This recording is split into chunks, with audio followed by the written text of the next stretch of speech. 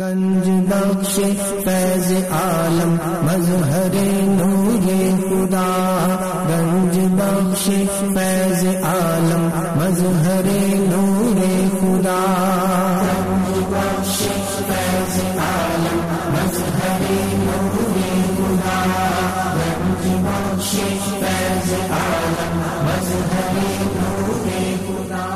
الحمدللہ عز و جل، ہم مسلمان انبیاء کرام علیہ الصلاۃ والسلام اور اولیاء اعظام کے تحریرن اور تقریرن چرچے کرتے رہتے ہیں۔ کیونکہ یہ نامور شخصیات ہماری محبت اور عقیدت کا محور ہیں اور انہی اولیاء کرام ایک مشہور و معروف شخصیت حضرت مخدوم ابو الحسن سید علی بن عثمان حجویری المعروف دادا گنج بخش رحمۃ اللہ تعالی علیہ کی ذات بلا مبالغہ، ان عظیم ہستیوں میں سے ایک ہیں جنہیں اللہ تبارک و تعالی نے اپنا محبوب بندہ بنا کر خلق خدا کی رہنمائی کے لیے مقرر فرمایا۔ حضور دادا گنج بخش رحمۃ اللہ تعالی علیہ نے دین کی سر بلندی کے لیے علم تصوف و اسلامی علوم و فنون سے بھی کام لیا۔ آپ کے ساتھ ایک بزرگ حضرت ابو سعید رحمۃ اللہ تعالی علیہ نے آپ کی بہرگاہ میں کچھ سوالات کیے، جس کے جواب میں آپ نے ایک کتاب کشف موجود تحریر فرمائی۔ تصوف میں وہی مقام مرتبہ آپ کی شورا کتاب کو صدیوں سے یہ کتاب ارباب نظر و فکر سے خراج تحسین وصول کرتے ہوئے حرام و خاص کی بھرپور رہنمائی کر رہی ہے خواجہ معین اجمیری خواجہ معین الدین اجمیری رحمۃ اللہ علیہ نے کتاب اور صاحب کتاب کے بارے میں فرمایا، نہ کہ سارا پیر کامل کامل آلہ رہنما۔ محبوب سبحانی نے فرمایا، جس کو کوئی پیر کامل نہ ملے، وہ پوری کشمیر موجود کا مطالعہ کر لے۔ یہ اس کا ہاتھ پکڑ کے رب کے ہاتھ میں قرآن و حدیث کے بعد یہ کامل مرشد کامل مرشد بندات علی حجویری رحمۃ اللہ علیہ نے اپنی مارکت الارا کتاب کے بارے میں خود فرمایا کہ راہ حق بیان کرتی ہے۔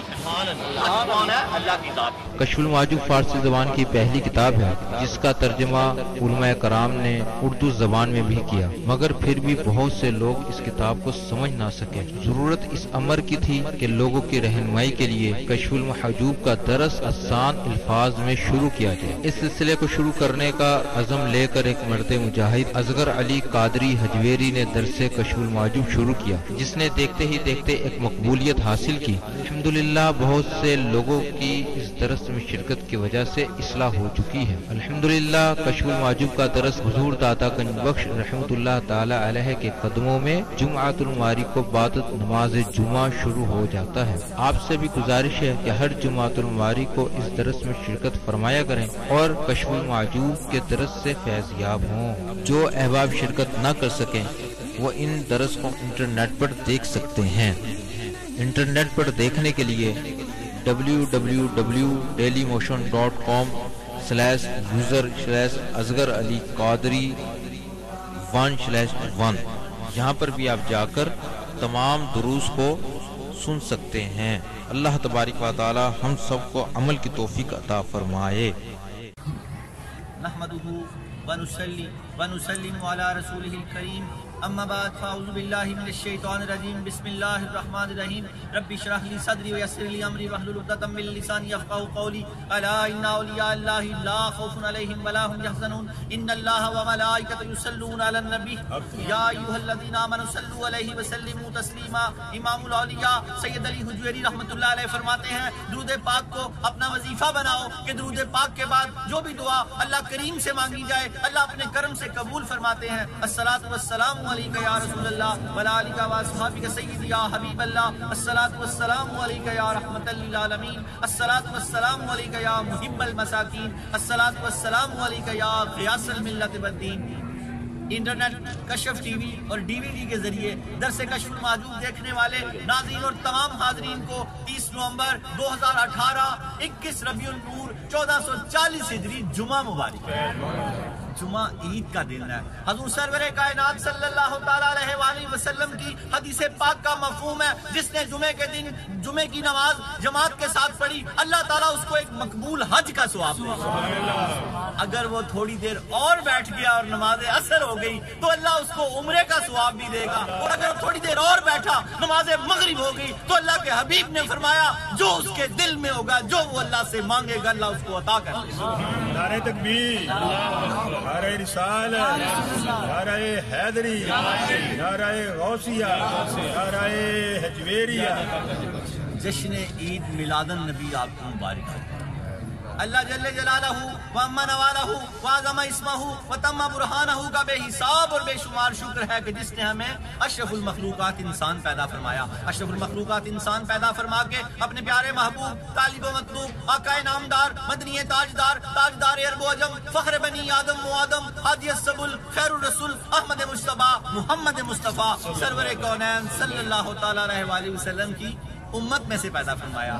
پہلے میلاد تھوڑا سا تھوڑا سا کیا، ساری زندگیاں بھی گزر جائیں تو تھوڑی ہیں۔ پہلے میلاد، پھر اپنے درس کی طرف آتے ہیں۔ آج ہمارا درس سید حجویر شناور بحر معرفت حضرت داتا گنج بخش علی حجویری رحمت اللہ علیہ نے حضرت حبیب کی کرامت بیان کیا بہت خوبصورت۔ ہمارے موضوع چل رہے ہیں ولی کے۔ سید حجویر نے ولی کے، ولی کی کرامت کو نبی کے معجزے کا حصہ قرار دیا۔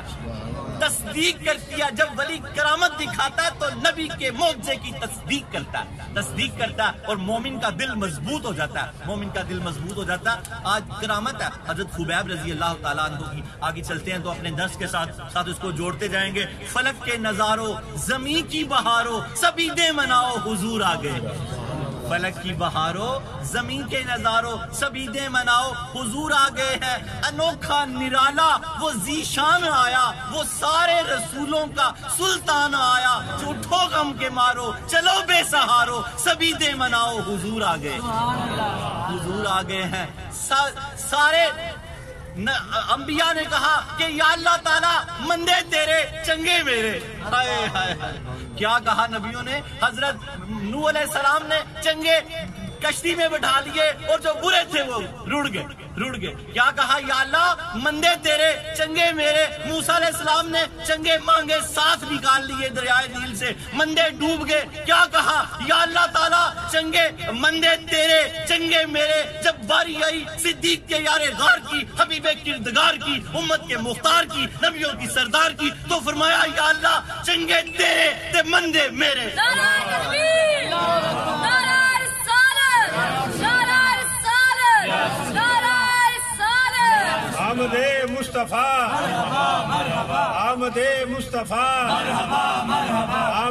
آمد مصطفیٰ۔ آمد مصطفیٰ آمد مصطفیٰ۔ آمد مصطفیٰ باقی نبیوں نے کیا کہا؟ یا اللہ مندے تیرے تے چنگے میرے۔ تے سرو تو سرور کائنات صلی اللہ تعالیٰ علیہ وآلہ وسلم نے فرمایا یا اللہ تعالیٰ چنگے تیرے تے مندے میرے۔ مندے اپنی کملی میں چھپا لے۔ حضور پاک نے صحابہ کو فرمایا حدیث پاک کا مفہوم ہے آپ حتیم میں تشریف فرما تھے سیدنا جبریل امین تشریف لے آئے۔ میں نے کہا بات سے بات ملاؤں نا کوئی یہ نہ کہہ دے کہ بات ہی ہے۔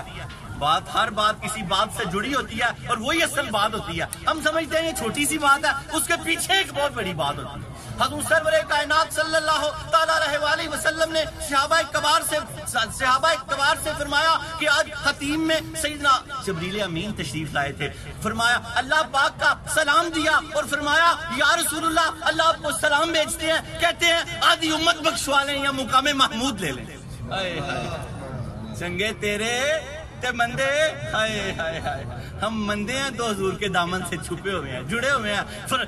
حضرت سیدنا جبریل امین نے اللہ رب العالمین کا پیغام دیا کہ اللہ فرماتے ہیں، اے حبیب، یا تو آدھی امت بخشوا لیں یا مقام محمود لے لیں۔ تو اللہ کے حبیب نے صحابہ سے فرمایا، میں نے مقام محمود لے لیا۔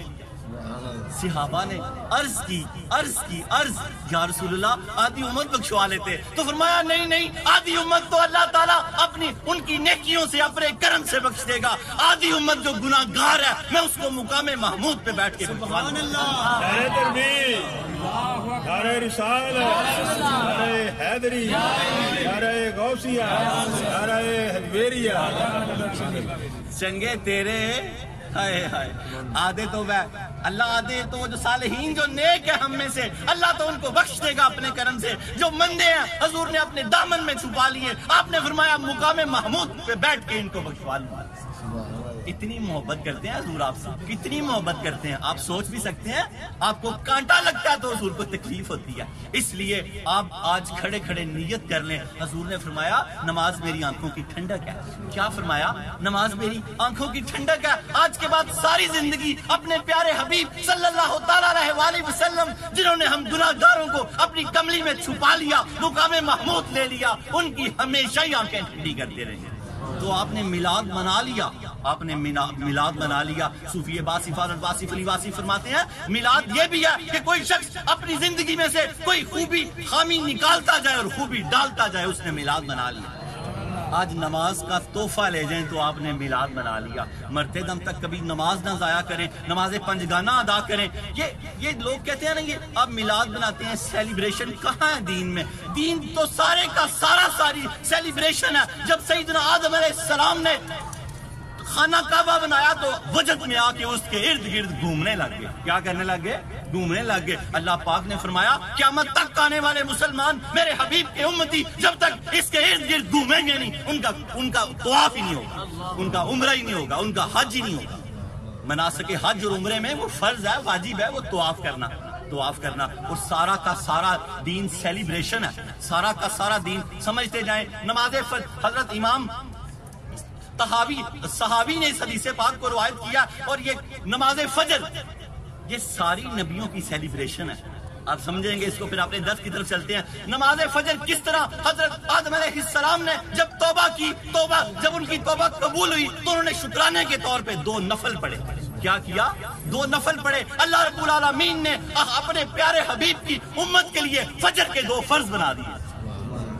دو نفل پڑے توبہ کے انہوں نے۔ اللہ رب العالمین نے اپنے حبیب کی امت کے لیے وہ ساری ساری قیامت تک کے مسلمانوں کے لیے فجر کے دو فرض بنا دیے۔ حضرت ابراہیم علیہ السلام، جب حضرت اسحاق علیہ السلام پیدا ہوئے، تو شکرانے کے طور پہ چار نفل پڑے کیا کیا خوشی منائی؟ میلاد منایا۔ عربی میں پیدا ہونے کو میلاد کہتے ہیں۔ ابراہیم علیہ السلام کے ہاں جب حضرت اسحاق علیہ السلام پیدا ہوئے تو انہوں نے چار نفل پڑھے۔ کتنے نفل؟ چار نفل پڑھے۔ اللہ رب العالمین نے اپنی حبیب کی امت کے لیے وہ چار نفل ظہر کے چار فرض کر دیے۔ ظہر کے چار فرض کر دیے۔ اسی طرح نماز اثر حضرت عزیر علیہ السلام جب سو سال سوئے رہے کتنے سال سوئے رہے؟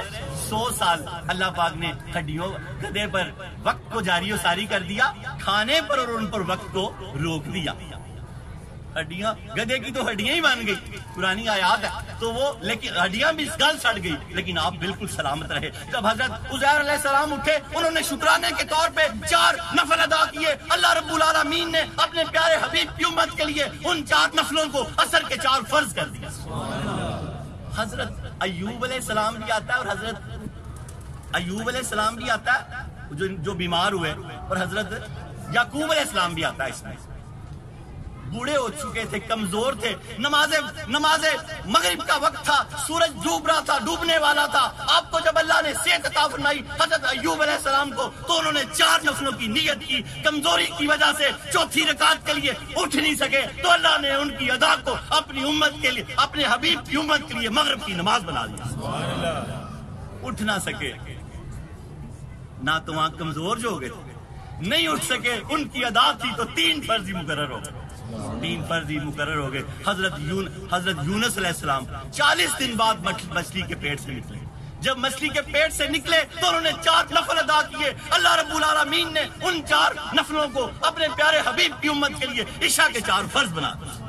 عشاء کی چار فرض بنا دیا۔ یہ پانچ نمازوں کا فلسفہ ہے۔ ہر نماز ہی کسی نبی کے ساتھ جڑی ہوئی ہے۔ کسی چیز کو منانا سیلیبریٹ کرنا این اسلامی ہے۔ پنج گانا نماز یہ پیغمبروں کی یاد دلاتی ہے۔ یاد مناتے ہے بار بار میلاد منایا کریں۔ روز میلاد منایا کریں۔ ہر ہفتے میلاد منایا کریں۔ پیر کا روزہ رکھ لیا کریں۔ مسلم شریف کے حدیث پاک ہے۔ اللہ کے حبیب پیر کا روزہ رکھتے تھے۔ صحابہ نے پوچھا، فرمایا، یا رسول اللہ، آپ پیر کا روزہ کیوں رکھتے ہیں؟ فرمایا، میں اس دن پیدا جو ہوا خود روزہ رکھ کے اپنا میلاد منایا اور گھر میں جو بھی کھانا پکے، اس دن کثرت سے درود پڑے جمعے کو کثرت سے درود پڑے پیر کو کثرت سے درود پڑے نماز مغرب کے سے پہلے یا نماز مغرب کے بعد، اس سارے کھانے پہ میلاد پڑھ لیں۔ میلاد کیا ہے؟ ایک مرتبہ درود پاک پڑھیں، تین مرتبہ، ایک مرتبہ سورہ فاتحہ، تین مرتبہ سورہ اخلاص پڑھیں، پھر درود پاک پڑھیں۔ اور جتنا درود پورا ہفتہ پڑا ہوا ہے، پیر کا ملا کے، جمعے کا ملا کے، حضور کو تحفہ ہدیہ نذرانہ دن پیش کر پھر دیکھیں کیسے کیسے تحفے آتے ہیں۔ ہر پیر کو میلاد کرے۔ اللہ رب العالمین ہمیں میلاد کے فلسفے کو سمجھنے کی توفیق عطا فرمائے۔ درس نمبر دو سو اکاون۔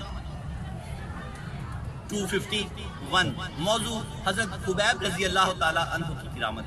حضور فیض عالم نے جو موتی پرائے پروئے کشف المجوب میں کہ چنتے جائیں اور تسبیح بنا کے گلے میں ڈال لیں اور پتہ لگے کہ حجویری ہے۔ پتہ لگے کہ حجویری ہے۔ ولیوں کی بات شروع شروع ہونے لگی ہے۔ درس شروع ہونے لگا۔ حضرت جنید بغدادی رضی اللہ تعالیٰ عنہ کے اس کال سے درس کو آگے لے کے چلوں۔ حضور جنید بغدادی، حضور فیض عالم کے پیر و مرشد ہیں۔ آپ جنیدی بھی ہیں۔ اور ہم اگر داتا صاحب کے مرید ہو جاتے ہیں تو ہم حجویری ہو جاتے ہیں۔ ہم پھر جنیدی بھی ہو جاتے ہیں، حجویری بھی ہو جاتے ہیں۔ حضرت جنید بغدادی رضی اللہ تعالیٰ عنہ فرماتے ہیں، ولی ولی ابن ولی ابن الوقت. ہوتا ہے ابن الولی آپ یہاں کیا بن رہے ہیں؟ میں اکثر کہتا ہوں، جب کوئی طب پڑھتا، جب کوئی طب جب کوئی طب پڑھتا، طبیب بنتا، جب کوئی حکمت پڑھتا، حکیم بنتا، جب کوئی ایم بی اے کرتا، تاجر بنتا، جب کوئی پی ایچ ڈی کرتا، ڈاکٹر بنتا، جب کوئی کشف الماجوب پڑھتا ہے سالک بنتا ہے صوفی بنتا ہے اللہ کا ولی بنتا ہے۔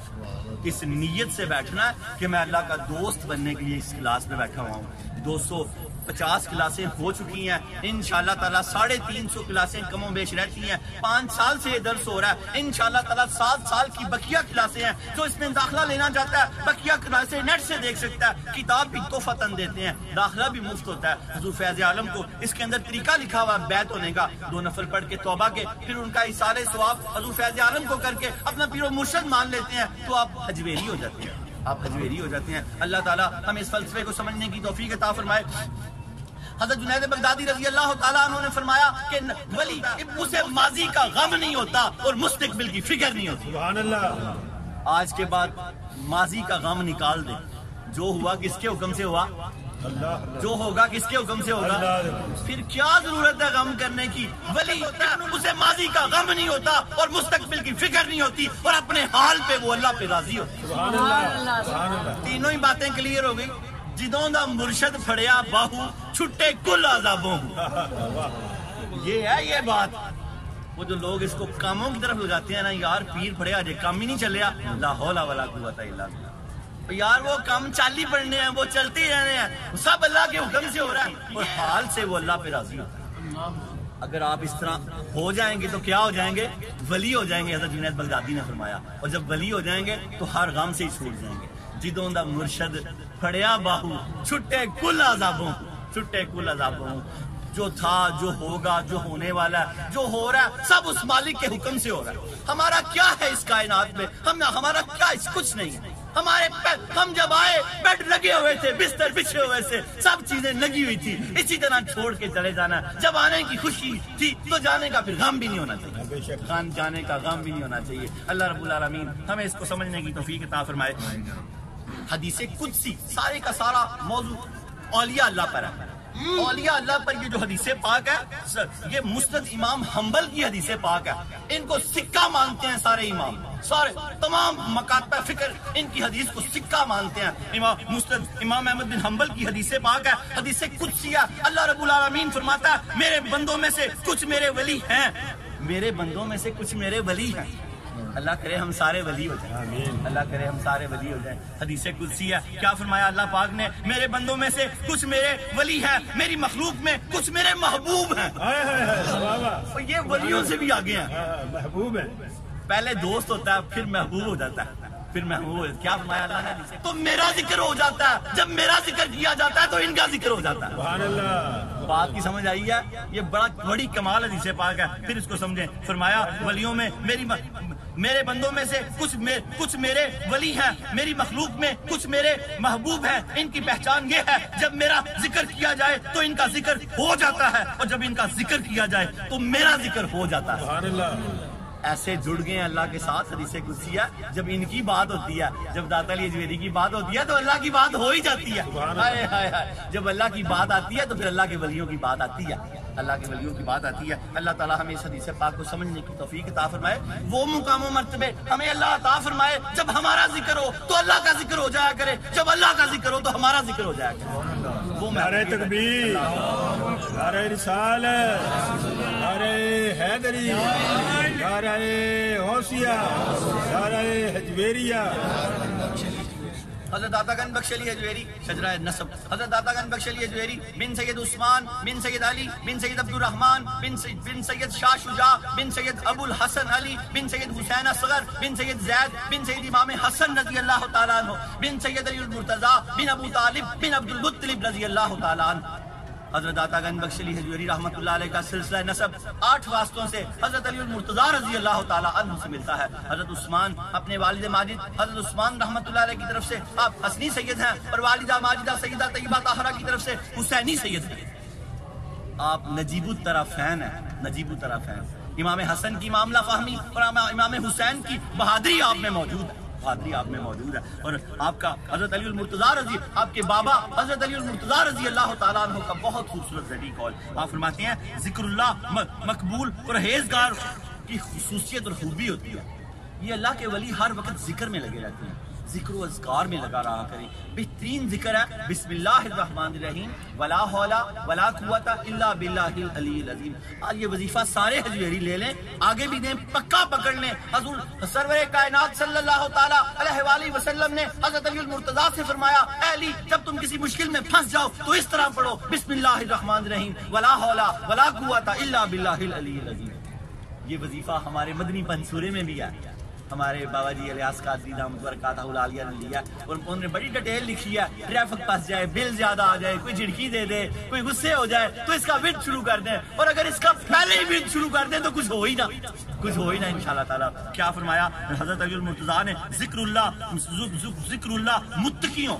متقی کون ہوتے ہیں؟ اللہ سے ڈرنے والے۔ بس اللہ سے ڈرتے رہیں۔ اللہ کی حد نہ توڑیں کبھی۔ کبھی نہ اللہ کی حد توڑیں۔ تنہائی میں بھی اللہ سے ڈرتے رہیں۔ کیا فرمایا علی المرتضیٰ نے؟ ذکر اللہ ذکر اللہ، متقیوں اور پرہیزگاروں کی حسرت اور خوبی ہوتی ہے۔ خسرت یہ اللہ کے ولیوں کی خسرت اور خوبی ہے۔ ہمیشہ ذکر میں لگے رہے۔ کیا تھا وظیفہ؟ بسم اللہ الرحمن الرحیم۔ ولا حولا ولا قوت الا باللہ العلی العظیم۔ رات دن اس کا ورد کرنا شروع کر دیں۔ پھر اللہ کی مہربانیاں دیکھیں۔ حضرت داتا گنج بخش علی حجویری رحمۃ اللہ علیہ کا شجرہ طریقت جن سے آپ بیعت ہوئے۔ ایسے ایسے کمال ولی ہیں۔ حضرت غوث اعظم کا بھی شجرہ طریقت وہی ہے اور حضرت سید حجویر کا شجرہ طریقت بھی وہی ہے۔ حضرت غوث اعظم بھی جنیدی ہیں اور داتا صاحب بھی جنیدی ہیں۔ داتا صاحب فرماتے ہیں، بڑے بڑے جو صوفی گزرے ہیں، وہ جنیدی ہیں۔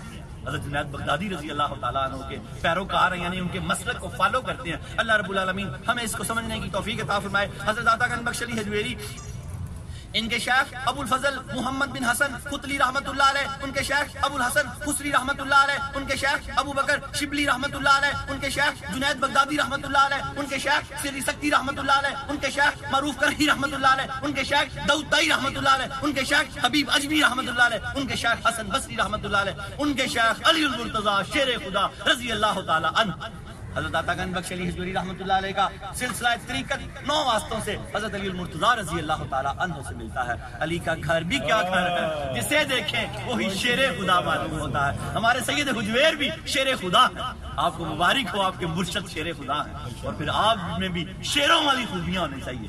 شیر گرتا نہیں ہے۔ گرنے سے یہاں مراد ہے کہ بک نہیں جاتا۔ سودا نہیں کرتا، گناہ نہیں کرتا۔ فلم ڈرامے، گانے باجے سے بچتا ہے اللہ کی اطاعت و بندگی کرتا ہے اللہ کی فرما برداری کرتا ہے جھوٹ، غیبت، چگلی سے بچتا ہے نماز کی پابندی رکھتا۔ ہے شیر شیر ہی ہوتا۔ ہے اگر علی کے شیر بننا چاہتے ہو تو یہ خوبیاں پیدا کرو۔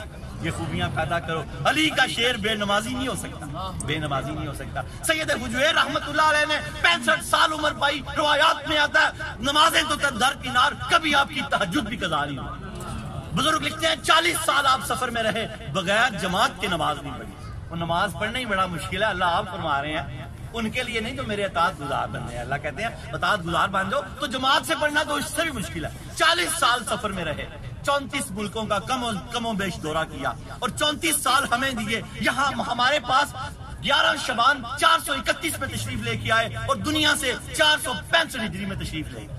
چونتیس سال آپ کو دیے، یہاں کے یہاں کی پوری زمین کو مسلمان کر دیا۔ در زمین ہند تخ میں سجداری علامہ اقبال نے فرمایا، ہندوستان کی زمین پر توحید کا بیج بو دیا، لوگوں کو سجدہ کرنے کا ورد سکھا دیا سید حجویر شناور بحر معرفت ہیں آپ۔ شناور بحر معرفت ہیں۔ حضرت آتا گنج بخش علی رحمت اللہ علیہ کا بہت خوبصورت ذریع کول آپ فرماتے ہیں۔ آپ فرماتے ہیں کرامت صرف اس شخص سے، اس شخص سے۔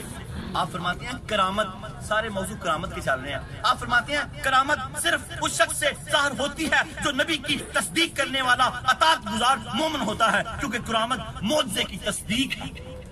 سمجھ آئی؟ پھر بتاؤں گا آگے سمجھ۔ فرماتے ہیں کرامت صرف اس شخص سے ظاہر ہوتی ہے، یہ نیکوں سے صالحین سے ظاہر ہو سکتی ہے، جو نبی کے پیروکار ہوں سچے اگر کسی گناہگار سے ہو تو استدراج ہوتا ہے۔ اس کو اللہ کے ولی سے ہو یعنی کہ صالحین میں سے کسی سے ہو، تو اس کو کرامت بولتے ہیں اس لیے اس کی پہچان رکھا کرے۔ کوئی بابا بتا دینا، آپ کی جیب میں کتنے پیسے ہیں، تو اس کو پیر یا اللہ کا ولی نہیں مان لینا۔ وہ تو اپنا ٹائزر ہے استدراج ہے۔ ولی کی پہچان ہے کہ وہ شریعت محمدی صلی اللہ تعالیٰ علیہ وسلم کا پابند ہے۔ پابند ہے، پھر کوئی چیز ظاہر کرتا ہے تو وہ کرامت ہے۔ اور اگر آپ دیکھ رہے ہیں کہ اس کا دین محمدی صلی اللہ علیہ وسلم سے کوئی لین دین ہی نہیں ہے، تو وہ آپ کو آپ کی دل کی باتیں بھی بتا رہا ہے تو ولی نہیں ہو سکتا۔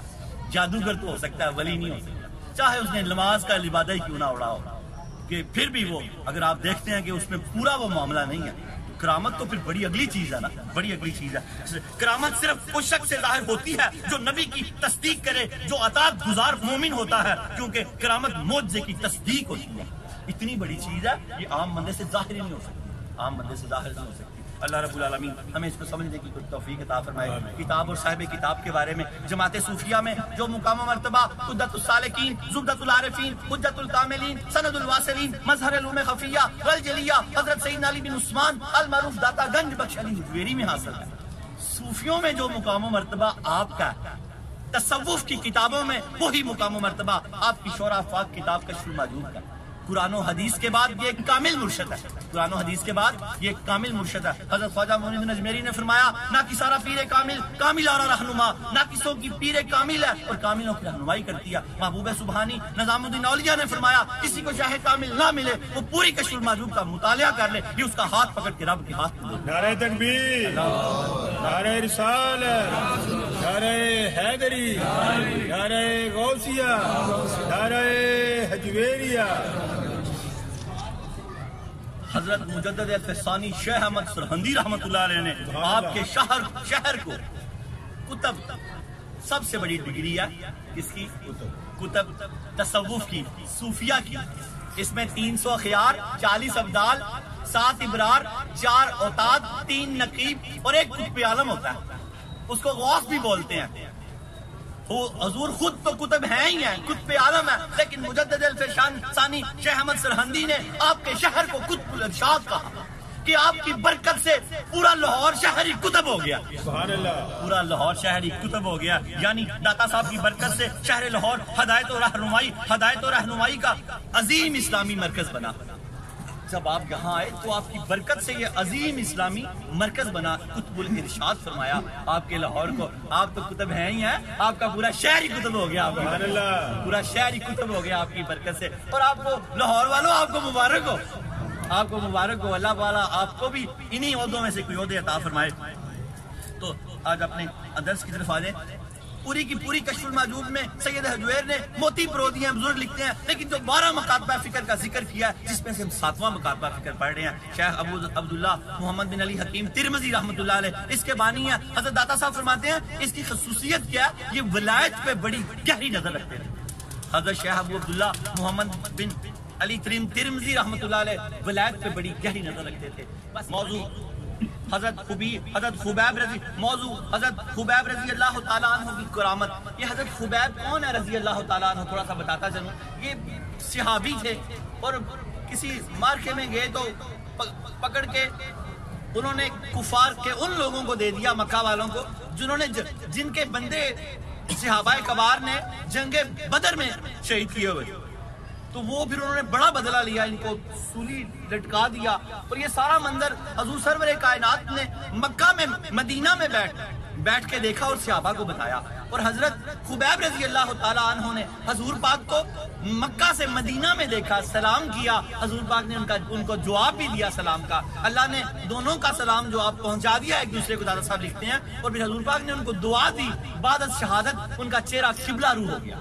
قبلہ رو ہو گیا۔ تو سید حجویر یہاں پر کرامت اور موجے کی گفتگو کر رہے ہیں۔ آپ نے فرمایا، مکہ سے حضرت عبیب کا حضور پاک کو دیکھ لینا صلی اللہ علیہ وسلم کرامت تھی اور حضور پاک کا مدینہ سے حضرت عبیب کو دیکھ لینا، یہ ان کا موجزہ تھا۔ یہ ان کا موجزہ تھا، یہ انہوں نے یہ ایک بات اس دلیل سے لی ہے۔ پھر مکانی اور غیر مکانی، غیر زمانی کی بات کی ہے۔ داتا علی جوہری فرماتے ہیں، وہ جو وقت تھا وہ مکانی تھا۔ دنیا ایک مکان ہے۔ حضور پاک صلی اللہ علیہ وسلم اسی مکان میں تشریف فرما تھے اور حضرت حبیب بھی۔ دنیا ایک مکان ہے، مکانی ہے۔ اور جو زمانی ہے، زمانے کا فرق۔ آپ فرماتے ہیں کہ کچھ لوگوں نے کہا کہ ولایت نبی کی موجودگی میں ہو سکتی ہے۔ تو حضور فیض عالم نے فرمایا، نہیں نہیں۔ نبی کی موجودگی کے بعد بھی ہو سکتی ہے۔ یعنی کہ نبی تو موجود ہی ہے نا، اگر اس طرف آ جائیں تو یہ تو ایک بڑی لمبا سلسلہ بن جائے گا۔ تو وہ تو پھر آپ نے فرمایا، زمانی اور مکانی دونوں ولی ولایت کا ظہور کا اظہار کر سکتے ہیں۔ کر سکتے ہیں۔ پھر آپ کے پیرو مرشد نے فرمایا، یہ اگلی بار بات آئے گی کہ ولی کرامت کو چھپا- چھپاتا اور نبی موضے کو ظاہر کرتا۔ اگر ولی کی نیت ہو کہ میری کرامت سے دین کو فائدہ پہنچے گا، تبلیغ کی نیت ہو، تو پھر وہ دکھا سکتا ہے۔ اور اگر یہ نیت ہو کہ مجھے ہی فائدہ پہنچے گا کہ میری بزرگی میں اضافہ ہو، تو پھر آپ کے پیرو مرشد فرماتے ہیں کہ یہ رونت ہے۔ ایسا نہیں کر سکتا ولی۔ اب اپنے درس کی طرف آ جائیں اللہ ہمیں اس کو سمجھنے کی توفیق عطا فرمائے۔ حضرت خبیب رضی اللہ تعالیٰ عنہ کی کرامت ولی کی کرامت نبی کے موجے کا حصہ ہوتی ہے۔ یہ بات اس واقعے سے واضح ہو جائے گی۔ داتا صاحب نے فرمایا ولی کی کرامت نبی کے موجے کا حصہ ہوتی ہے۔ یہ بات اس واقعے سے واضح ہو جائے گی جو واقعہ آنے لگا۔ حضرت داتا گنج بخش علی حجویری رحمۃ اللہ علیہ فرماتے ہیں جب کفار جب کفار نے حضرت عبیب رضی اللہ تعالیٰ عنہ کو مکہ میں شہید کرنا چاہا، تو نبی اکرم صلی اللہ علیہ وسلم اس وقت مدینہ میں موجود تھے اور مسجد نبی میں تشریف فرما تھے۔ مدینہ میں تھے اور مسجد نبی میں تشریف فرما تھے۔ آپ صلی اللہ تعالیٰ علیہ وآلہ وسلم نے صحابہ کرام کو بتایا، کفار اس وقت حضرت خبیب حضرت خبیب کے ساتھ کیا سلوک کرنے والے ہیں؟ وہاں سے بتا رہے ہیں آپ۔ مدینہ سے مکہ کا واقعہ بتا رہے ہیں کہ کفار حضرت خبیب کے ساتھ کیا سلوک کرنے والے ہیں۔ اسی طرح حضرت خبیب کی نگاہوں کے سامنے سے بھی اللہ تعالیٰ نے حجابات کو پٹا دیا۔ انہوں نے نبی اکرم صلی اللہ تعالیٰ علیہ وآلہ وسلم کا چہرہ ودہا دیکھا، زیارت کی اور آپ کو سلام کیا۔ ان کے سلام کو اللہ پاک نے نبی پاک صلی اللہ تعالیٰ علیہ وآلہ وسلم تک پہنچا دیا۔ پہنچا دیا اور نبی اکرم صلی اللہ علیہ وسلم نے اس سلام کا جواب دیا دیا وہ حضرت خبیب نے بھی سن لیا۔ آپ نے جب سلام کا جواب دیا، حضرت خبیب رضی اللہ تعالیٰ عنہ نے سن لیا۔ آپ نے ان کے لیے دعا کی۔ حضور سرور حضور سرور کائنات صلی اللہ تعالیٰ علیہ وسلم نے ان کے لیے دعا کی یہاں تک کہ شہادت کے بعد ان کا رخ قبلہ کی طرف ہو گیا۔ جب وہ شہید کر دیے گئے، تو ان کا رخ قبلہ کی طرف ہو گیا۔ تو آگے داتا صاحب یہ واقعہ دے کے آگے وہ بات کو ثابت کرنے لگے ہیں۔ کہ حصہ ہے تصدیق ہے ولی کی کرامت نبی کے معجزے کا۔ تو نبی اکرم صلی اللہ علیہ وسلم حضرت قبیب کو مدینہ منورہ میں بیٹھ کر شہید ہوئے شہید ہوتے ہوئے دیکھا۔ حالانکہ حضرت حالانکہ حضرت قبیب مدینہ میں موجود، مکہ میں موجود۔ صاحب فرماتے ہیں، حضور سرور کائنات نے مدینہ میں حضرت خبیب کو شہید ہوتے ہوئے دیکھا۔ حالانکہ حضرت خبیب مکہ میں موجود تھے۔ تو یہ چیز ایک خلاف عادت فیل ہے۔ یہ چیز ایک خلاف عادت فیل ہے اور معجزے معجزے کے طور پر ہے۔ جب حضرت خبیب کا مکہ میں موجود ہوتے ہوئے نبی کریم صلی اللہ علیہ وسلم کو دیکھنا، یہ ان کی کرامت حضور نے دیکھا تو معجزہ تھا۔ حضرت خبیب نے دیکھا تو سید حجویر فرما رہے ہیں، یہ کرامت تھی۔ غیر موجود شخص کو دیکھ لینا۔ ان کی کرامت تھی۔ کیونکہ غیر موجود شخص کو دیکھ لینا خلاف عادت ہے اس بات پر اتفاق پایا جاتا ہے۔ جو شخص زمانے کے اعتبار سے غیر موجود ہو یا جو شخص یا جو شخص مکان کے اعتبار سے غیر موجود ہو دونوں کے درمیان کوئی فرق نہیں ہوگا۔ زمانے میں داتا صاحب فرماتے ہیں یہ زمانے کے بعد غیب مکانی اور غیب زمانی۔ دونوں صورتوں میں کرامت ہو سکتی ہے۔ سید حجویر یہ فرما رہے ہیں۔ اور فرق نہیں ہوگا۔ اس کی وجہ یہ ہے، حضرت خبیب رضی اللہ تعالیٰ عنہ نے نبی کریم صلی اللہ علیہ وسلم کو مکان کے اعتبار سے غیر موجود ہونے کی حالت میں دیکھا تھا۔ مکان تو ایک ہی تھا۔ دنیا ایک مکان، یہاں سمجھ لینا۔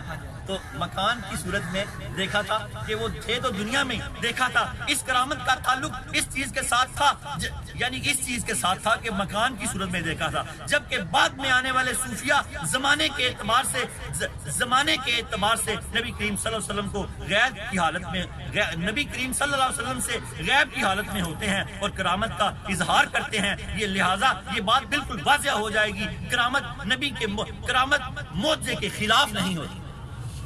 آپ کی موجودگی میں یہ اس کو اظہار کیا جائے کرامت کا یا بعد میں کیا جائے؟ سید حجویر فرماتے ہیں، کرامت معجزے کے خلاف نہیں ہوتی، کیونکہ کرامت کا مقصد صرف صاحب معجزہ یعنی نبی کی تصدیق ہوتا ہے، اور کرامت صرف اس شخص سے ظاہر ہوتی ہے جو نبی کی تصدیق کرے، جو اطاعت گزار مومن ہوتا ہے۔ اس لیے کسی ولی سے کرامت در حقیقت نبی کسی ولی کی کرامت در حقیقت نبی کا معجزہ ہوتا ہے۔ داتا صاحب فرماتے ہیں، تصدیق بھی ہوتی ہے اور وہ ولی کی کرامت نبی کا معجزہ ہوتی ہے بسم اللہ۔ کیونکہ کرامت کا مقصد صرف صاحب معجزہ یعنی نبی کی تصدیق ہوتا ہے اور کرامت صرف اس شخص سے ظاہر ہوتی ہے جو نبی کی تصدیق کرے جو اطاعت گزار مومن ہوتا ہے۔ اس لیے کسی ولی کی کرامت در حقیقت نبی کا معجزہ ہوتا ہے۔ سبحان اللہ نبی کا معجزہ ہوتی ہے۔ کیونکہ نبی کا کسی ولی کی کرامت در حقیقت نبی کا معجزہ ہوتی ہے۔ کیونکہ نبی کی شریعت باقی ہوتی ہے۔ حضور سرور کائنات کی شریعت قیامت تک باقی ہے۔ قیامت تک باقی ہے۔ سید حجویر فرماتے ہیں، کیونکہ نبی کی شریعت باقی ہوتی ہے، اس لیے یہ بھی ضروری ہوگی، اس لیے یہ بات بھی ضروری ہوگی کہ اس کی حجت اور دلیل بھی باقی ہو، باقی رہے، جو کہ کرامت کی صورت میں واضح ہو جاتی ہے۔ کیونکہ نبی کی نبوت قیامت تک ہے۔ تو آپ فرماتے ہیں، یہ دلیل اور حجت باقی ہونی چاہیے، کہ اس کے اظہار کے لیے کرامت ہونی چاہیے۔ کہ لوگوں کو یقین ہو کہ موجزہ کوئی چیز تھی۔ موجزہ کوئی چیز تھی۔ کرامت کی صورت میں واضح ہو جاتی ہے۔ اس اعتبار سے اولیاء نبی کے اولیاء اس اعتبار سے اولیاء اللہ نبی اکرم صلی اللہ علیہ وسلم کی صداقت کے گواہ ہوتے ہیں۔ اولیاء کیا ہوتے ہیں؟ حضور سرور کائنات صلی اللہ علیہ وسلم کی صداقت کی گواہ ہوتے ہیں واخر دعوانا ان الحمدللہ رب العالمین۔ جب وہ اپنی کرامت دکھاتے ہیں تو گواہی دیتے ہیں کہ اللہ کے نبی حضرت محمد رسول اللہ صلی اللہ علیہ وسلم سچے نبی ہیں۔ ہم ولی ہو کے یہ کرامت دکھا رہے ہیں تو وہ نبی ہو کے کیا کرتے ہوں گے؟ نعرہ تکبیر۔ نعرہ رسالہ۔ حضور غوث پاک کا ایک واقعہ اسی طرح کے ہر کرامت جو ہے موجزے کا حصہ ہے۔ راہب پادریوں کا عیسائیوں کا ایک گروہ آ گیا بہت بڑا۔ انہوں نے آ کے کیا امتحان لیا؟ انہوں نے حضور غوث پاک سے کہا کہ اللہ کے حبیب کی یہ حدیث پاک ہے کہ میری امت کے جو علماء حق جو اولیاء اللہ ہوں گے بنی اسرائیل کے نبیوں کی طرح ہوں گے۔ سبحان اللہ۔ پہلے پوچھا کہ کیا یہ سچ ہے؟ انہوں نے کہا سچ ہے۔ بالکل سچ ہے۔ تو فرمایا اللہ ہے کوئی بندہ ایسا؟ ہمارے نبی تو مردے زندہ کر لیا کرتے تھے۔ عیسیٰ علیہ السلام، آپ کی امت میں ایسا کوئی فرد ہے جو مردے زندہ کر لے؟ تو حضور غوث اعظم، شیخ عبد القادر جیلانی رضی اللہ تعالیٰ عنہ نے فرمایا، مجھے بتاؤ کون سا مردہ زندہ کرنا ہے؟ میں حضور کی امت میں ایسا فرد ہوں۔ بات ہوئی نا، بات ہوئی۔ ولی کی ولی کی جو کرامت ہے، نبی کے معجزے کا حصہ ہوتی ہے اور تصدیق ہوتی ہے۔ اب یہاں تصدیق ہونی تھی۔ وہ پریشان ہو گئے، ڈر گئے۔ انہوں نے کہا، یار، یہ کمال ہو گیا دا تو ہم نے بڑا لگایا تھا، پر دا ہی فیل ہو گیا ہمارا۔ اب انہوں نے کیا سوچا؟ وہ چلے، قبرستان۔ ان کے چلے، قبرستان چلے گئے۔ اب انہوں نے ایک انتہائی بسیدہ قبر، جو اتنی کے پرانی تھی کہ انہوں نے کہا، کم از کم یہ تو نہیں اٹھا سکیں گے نا۔ ان کے دل میں ایک خیال آیا، منطقی لوگ تو ہوتے ہیں۔ ان کے پاس کوئی کیا کرامت ہوتی ہے؟ اور آگے سے آپ کو بات بتاؤں، وہ کچھ بجایا کرتا تھا۔ وہ اس وہ کوئی چیز ایسی وہ کہتے ہیں کہ وہ اس طرح کی چیز وہ بجایا کرتا تھا اس طرح کی اور وہ دعا مانگا کرتا تھا۔ اس نے سنا ہوا تھا ایک زمانے میں شیخ عبد القادر جیلانی آئیں گے۔ وہ اللہ سے دعا مانگا کرتا تھا یا اللہ مجھے ان کا دیدار کروا دو۔ یہاں دیکھیں کیا کمال ہو رہے ہیں کیا کمال ہو رہے ہیں؟ کدھر دعائیں جا رہی ہیں؟ کس طرح ہوئی ہے؟ کدھر؟ ولی کیا؟ ولی کی کرامت نبی کے معجزے کا حصہ ہوتی ہے۔ وہ اسی قبر پہ لے گئے۔ آپ نے حضرت حضرت شیخ عبد القادر جیلانی رحمت اللہ نے فرمایا، یہ جو کرتا تھا، وہ کرتا ہوا اٹھے کہ ویسے ہی اٹھ جائے۔ ان عیسائیوں نے کہا، جو کرتا تھا، وہ کرتا ہوا اٹھے، پھر تو کمال ہے۔ اس نے جاتے ہوئے کہا تھا کہ میری بانسری بھی ساتھ ہی رکھ دینا۔ پھر میں بجاتا ہوں نا، وہ اس کے ساتھ ہی دفنا دینا جب آپ نے کہا تم بے اللہ اللہ کے حکم سے اٹھ، قبر شک ہوئی، وہ اٹھا اور وہ بجاتا ہوا اٹھا۔ نعرہ تکبیر، نعرہ صالح نعرہ حیدری، نعرہ غوثیہ نعرہ غوثیہ نعرہ غوثیہ نعرہ حجویریہ اور وہ بجاتا ہوا اٹھا، اس نے خود زیارت کی اور یہ واقعہ سنایا۔ حضور غوث پاک کو کہ میں نے یہ دعا کی ہوئی تھی۔ اللہ نے میری دعا آج قبول کر دی۔ میں یہ دعا کرتا تھا کہ وہ جو ہستی آنے والی ہے، شیخ عبد القادر جیلانی، اللہ مجھے ان کی دیدار کرا دینا، اللہ مجھے ان کی زیارت کروا دینا۔ اللہ نے آج میری دعا قبول کر دی۔ یہ ولی کی کرامت دیکھ کے ہزاروں لوگ مسلمان ہوئے۔ ہزاروں لوگ مسلمان ہوئے۔ اللہ پاک نے یہ ولیوں کی کرامتوں کو نبیوں کے معجزوں کا حصہ بنایا ہوا ہے حصہ بنایا ہوا ہے۔ یہ قیامت تک رہیں گے، قیامت تک رہیں گے اور صداقت کی گواہی دیتے رہیں گے۔ توبہ کریں۔ ہر جمعے ہم توبہ کرتے ہیں۔ جمعہ عید کا دن ہے۔ عید الفطر کے دن سے بھی زیادہ اہم حضور پاک نے فرمایا۔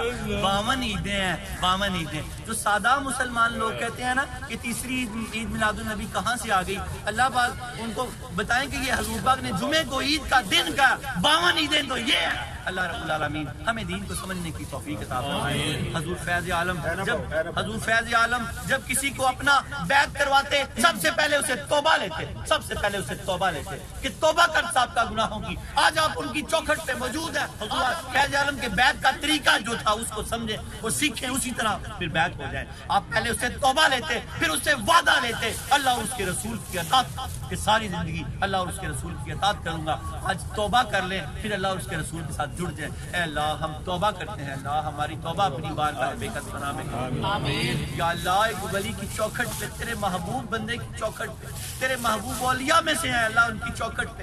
ہم سچے دل سے تیری بارگاہ میں توبہ کرتے ہیں۔ یا اللہ ہماری توبہ قبول یا اللہ ہماری توبہ قبول فرما. یا اللہ ہماری توبہ قبول فرما. یا اللہ ہماری توبہ قبول فرما. یا اللہ ہماری توبہ قبول فرما. یاد رکھیں جس نے سچے دل سے توبہ کی. اللہ کے حبیب نے فرمایا وہ ایسا ہوا جیسے ابھی اپنی ماں کی پیٹ سے پیدا ہوا ہے۔ یا اللہ ہم نے اس توبہ پہ استقامت عطا فرما۔ یاد رکھیں توبہ گناہ باقی رہ جاتے گناہ معاف ہو جاتے ہیں، حق باقی رہ جاتے ہیں۔ نمازیں جو سابقہ ہے وہ ایک ایک کر کے قضا کرتے رہیں۔ آج کے بعد کوئی نماز نہ ضائع کرنا، یاد رکھیں، گناہ معاف ہو جاتے ہیں، حق باقی رہ جاتے ہیں۔ جن جن کے حق دینے ہیں، ان کے حق ادا کرنے کی کوشش کرتے رہے جتنے ہو گئے ہو گئے۔ باقی اللہ اپنے کرم سے معاف کر دے گا۔ اللہم صلی اللہ سیدنا محمد، صاحب التاج والمراج والبراق والعلم، دافی البلاء والوباء والقحط والبرد والعلم۔ اسمه مكتوب مرفوع، مشفوع، منقوش في الله والقلم۔ سيد العربي والعجم، اسمه مقدس موتر مطهر منور في البيت والحرم شمس الضحى بدر الدجى صدر الأولى نور الهدى كف الورى مصباح الظلم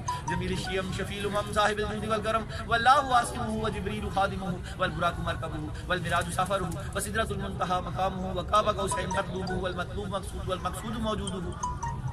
سید المرسلین خاتم النبیین، شفیع المذنبین انیس الغریبین، رحمت للعالمین، راحت العاشقین، مراد المشتاقین، شمس العارفین سراج السالکین، مصباح المقربین، محب الفقراء والغرباء والمساکین، سید الثقلین، نبی الحرمین، امام القبلتین، وسیلتنا فی الدارین، صاحب کعبہ قوسین محبوب رب المشرقین و رب المغربین، جد الحسن والحسین، مولانا و مولا الثقلین ابی القاسم محمد صلی اللہ علیہ وسلم، ابن عبد اللہ نور من نور اللہ، یا ایها المشتاقون بنور جمالہ بلغ العلا بکمالہ کشف الدجى بجمالہ حسنت جمی و حسالہ صلو علیہ وآلہ۔ اللہ کے پیارے حبیب نے فرمایا جو مجھ پہ ایک ہزار مرتبہ درود پاک پڑے گا دنیا سے نہیں جائے گا جب تک جنت میں اپنا گھر نہ دیکھ لے۔ اللہ کے حبیب نے فرمایا جو مجھ پہ ایک ہزار مرتبہ درود پاک پڑے گا جنت میں جاتے ہوئے اس کا کندھا میرے کندھے سے چھو جائے گا۔ بعد میں یہ کارڈ تقسیم ہوں گے۔ اس پہ درود پاک ہزار مرتبہ پڑھنے کا طریقہ لکھا ہوا ہے۔ خوبصورت سا فریم کر کے اپنے گھر میں لگا دے۔ ہر روز ہزار مرتبہ درود پاک پڑھے۔ اور محسوس کیا کرے جب کندھا چھوئے گا تو کیا محسوس ہو وہ لذت وہ ذائقہ وہ سرور آج سے ہی لینا شروع کر دیں کہ میں نے ہزار مرتبہ پڑھنا شروع کر دیا۔ ساری کائنات کے سب سے بڑے سات کو امین ہے، سچ بولا آپ نے، میرا کندھا ضرور چھوئے گا۔ میرا کندھا ضرور چھوئے گا۔ پھر یاد رکھنا، آپ سب کا کندھا حضور پاک کے کندھے سے چھوئے گا۔ ایک ہزار مرتبہ کوئی بھی درود پاک پڑھ کے حضور کو تحفہ پیش کرے۔ حضور پاک نے آپ کو اتنے اتنے نسخہ کیمیا دیے ہیں۔ حضور پاک کی حدیث پاک کا مفہوم ہے، جو فجر کی نماز پڑھتا ہے، رزق کی تنگی سے بچا لیا جاتا ہے۔ فجر کی نماز نہ کبھی چھوڑو۔ خدا نہ خواستہ دیر سے آنکھ کھلے، دیر سے اٹھ کے پڑھ لو، نماز فرض بھی ہے، قرض بھی ہے۔ اگر ٹائم پہ ادا نہ ہو تو فرض رہ جاتا ہے، قرض رہ جاتا ہے۔ فرض بھی رہ جاتا ہے، قرض بھی رہ جاتا ہے۔ قرض کو ادا کرو۔ اور اسی طرح پھر حضور پاک نے فرمایا، جو نماز ظہر پڑھے گا، نامہ مال سیدھے ہاتھ میں دیا جائے گا۔ نماز اثر پڑھے گا، قبر کو جنت کی کیاری بنا دیا جائے گا۔ نماز مغرب پڑھے گا پل سرات سے بجلی کی طرح گزرے گا۔ نماز عشاء پڑھے گا۔ جنت میں بغیر حساب و کتاب کے جائے گا آج کھڑے کھڑے پانچ نمازوں کا تحفہ سید حجویر کی بارگاہ سے لے جو رزق کی تنگی خدا کی قسم ختم ہو جائے گی اور نامہ مال سیدھے ہاتھ میں لیا جائے گا۔ کہتے نہیں ہے کہ یار اینج لگتا ہے کہ ستا ہے۔ وہ کیوں لگتا ہے ستا ہوا سیدھے ہاتھ میں نامہ مال ملا ہوتا ہے۔ چہرے پہ سختی کوئی نہیں ہوئی۔ جب فوت ہوگا، زور کی نماز پڑھنے والا سیدھے ہاتھ میں نامہ مال دیا جائے گا۔ فوت ہوا ہوا، ایسے لگے گا جیسے سویا ہوا ہے، جیسے سویا ہوا ہے۔ ایسے چہرے پہ مسکراہٹیں ہوں گی علامہ اقبال نے فرمایا، بندہ مومن کی پہچان نہ بتاؤں، جب تو اسے دنیا سے چاہتا ہوا دیکھے تو ایسے لگے گا جیسے سویا ہوا ہے۔ جیسے مسکرا رہا ہے۔ کوئی تناؤ نہیں ہوگا، کوئی کھچاؤ نہیں ہوگا۔ وجہ، نامہ مال سیدھے ہاتھ میں دیا ہوگا۔ شرط کیا زور کی نماز۔ اللہ کے حبیب نے فرمایا، جنت کو قبر کی کیاری بنا دیا جائے گا۔ یہاں تو جہنم کے گڑوں میں سے ایک گڑا ہے۔ یا جنت کی کیاری ہے۔ اثر نہ کبھی چھوڑنا۔ اللہ نے کہا، ساری نمازیں پڑھو، پر خاص کی زیادہ حفاظت کرو۔ اثر کی، اثر نہ کبھی چھوڑنا، قبر میں روشنیاں ہو جائیں گی، صحت نگاہ وسیع ہو جائیں گی، حضور پاک کا زیارت دیدار بھی ہوگا ماں کل کا تقبول فی حق کی حاضر اور پھر کبھی مغرب نہ چھوڑنا کل رات سے بجلی کی طرح نکلو گے۔ پھر کبھی عشاء نہ چھوڑنا، کہ بغیر حساب و کتاب کے اللہ نے دروگا سے کہہ دیا ہوا ہے، پانچ وقت کا نمازی آیا تو پیچھے ہٹ جاؤ۔ میرا وعدہ ہے کہ بغیر حساب کے بچوں گا۔ یہ پانچ نمازوں کا تحفہ آج لے جاؤ۔ خدا نہ خواستہ کبھی رہ جائے تو قضا کر لو ضائع نہ کرو۔ یہ نہ کہو کبھی رہ گئی ہے تو میں رہ ہی گیا ہوں۔ نہیں نہیں۔ بندہ مومن کبھی نہیں رہ سکتا، کبھی نہیں رہ سکتا۔ حضرت صوفی باصفہ حضرت واصف علی واصف نے فرمایا، حضور پاک کو ماننے والے کبھی دوزخ میں نہیں جا سکتے۔ کبھی دوزخ میں نہیں جا سکتے۔ اور حضور پاک کو کون ماننے والے ہیں؟ جو حضور پاک کی ماننے والے ہیں۔ بس آج کے بعد اللہ اور اس کے رسول کی ہر بات کو سچے دل سے مانتے جائیں تو آپ کبھی بھی دوزخ میں نہیں جا سکتے۔ یا اللہ درود تاج کے صدقے ہم سب کے سروں پہ عزت کے تاج رکھتے یا اللہ درود پاک تاج کے صدقے ہم سب کے سروں پہ عزت کے تاج رکھتے یا اللہ درود پاک درود تاج کے صدقے ہم سب کے سروں پہ عزت کے تاج رکھ دے اللہ تعالیٰ قرضوں کے بوجھ اتار دے تنگ دستیوں کے بوجھ اتار دے پریشانیوں کے بوجھ اتار دے اولاد کے بوجھ اتار دے۔ اللہ پاک رزق میں برکت دے دے جیب کو رزق حلال سے بھر دے۔ دل کو نور ایمان سے بھر دے جتنے لوگ کھڑے ہیں جیسے سید حجویر کا واسطہ ان میں سے کوئی بھی محروم نہ ہو۔ ان میں سے سارے ایمان لے کے دنیا سے جائے اللہ ان کا عشق بھی سلامت رکھنا۔ اللہ ہم سب کا ایمان بھی سلامت رکھنا۔ عشق ایمان سلامت ہر کوئی منگے عشق سلامت کوئی کوئی کوئی۔ یا اللہ ہمارا عشق بھی سلامت رکھنا ہمارا ایمان بھی سلامت رکھنا۔ اللہ جو بیمار ہے ان کو شفا دے۔ اللہ جو روحانی بیمار ہے ان کو شفا دے۔